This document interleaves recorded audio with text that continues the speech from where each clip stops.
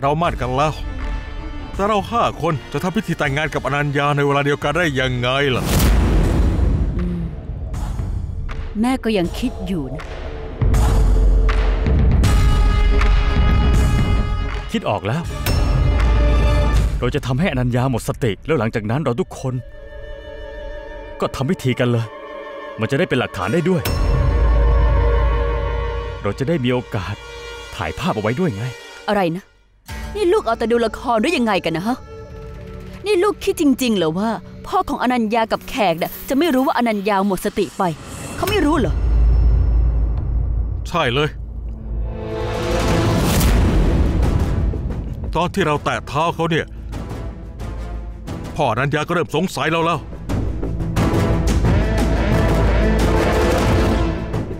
เราจะต้องระวังตัวไว้ แม่บินทิยา ผมว่าเราควรจะให้มายังเข้าร่วมแผนด้วย เขาจะได้จัดการพ่อเขา เหมือนที่เขาทำในวันนี้นะครับ ไม่จำเป็นหรอก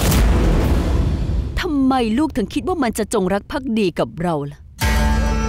ในเมื่อมันหักหลังน้องสาวตัวเองยังได้เลยนะมันสนใจแค่เงินเท่านั้นแหละ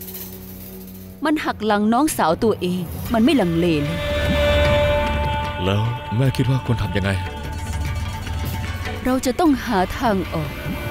เอาที่แบบให้เรานะต้องเสียหายอะไร แม่ครับ ไม่ใช่ว่าเราไม่มีทางออกหรอกนะ ความจริงก็คือ เราเน่ะเอาแต่คิดถึงปัญหา จนเราไม่เคยคิดหาทางออกกันตั้งแต่แรก